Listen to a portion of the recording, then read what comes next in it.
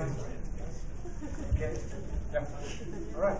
I'm Tommaso. I'm a designer and researcher, and uh, this is basically my story of designer way of life. Let's say a journey that starts when I was born in Italy, in the Marche in the shoemaker district, and then I moved to Milan to study design and work as design consultant and uh, art director for several magazines. After that, I moved briefly in Mexico to teach the north of Mexico, and then Thailand called me to open the first program in communication design at Chulalongkorn University.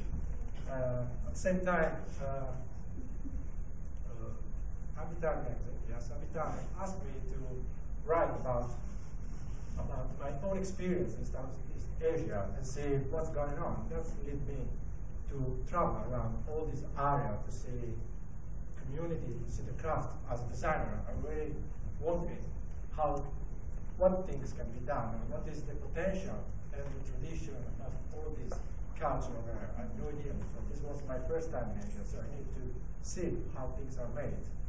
So, and the fact is, as designer, you don't limit yourself just to observe things. So once you start to observe, you want it. And then you start to accumulate things. And then you start to accumulate a lot of stuff. And I have to change a couple of houses because the house was tiny and it's stuff too much.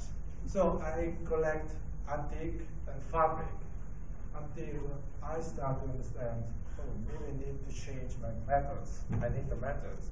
So I start to collect. To collect means different from accumulating. So I need to create a kind of hierarchy between my own passion and what I need to do. So I need a goal. So I started to, to collect fabric because fabric for me is a, a, visual diary. I can read the culture. And as I am not anymore Italian 100% because I spent almost 10 years out of Italy and I'm not Asian, so I'm in the middle of the two things. I'm kind of third culture, and this third culture creates somehow, let's say, a new language. And there's always between a kind of nostalgia and memories. So all these things uh, uh, lead me to explore, observe, collect things. And lately, I decided to do something with all this fabric. And I did a collection of, let's say, a fashion collection, where I bring textiles from Thailand, from south to east to south. And course, I use this fabric with my own vision and ask craft to create with me. So it was a co co-creation, co-design process. It spent almost four years to create a whole collection. But it is no gender, so you can choose whatever you wish. And this basically is a back and forth between where I come from and where I am, all in the way to understand who I am. This helped me to better fitted in the new culture. This is one of the pictures, one of the things I made. And yes, a kind of cultural blender is a kind of way to represent what I understand so far from this culture in my interpretation. If I was an artist, probably I would do a painting or something else, but it's a design. I need to touch things. And. This time play and you do something for others and try to public. So you see how the body uh, and how you change the body changes you. And then I try to blend this with education this time. Now I work at ABAC, product design, so product design people usually are like this. So we need to shape that. So we bring theater because you need confidence uh, and you need to shake your hand. You shake your not your, your mind. So we try different approaches.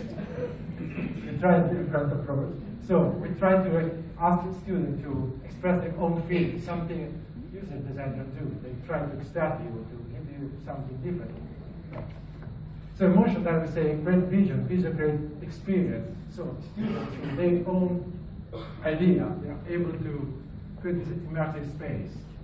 Basically, we extract them, we try many ways. And then that was the final result. Basically, all the all the time I started collecting items. And for me, it's a kind of way to understand better who I am and what is around me, fulfill me, understand the other people. So then from the observer, I become a participative observer. This somehow leads me to do research, of course. This is a way I do research. From design thinking, uh, I blend with technology to become a participative observer.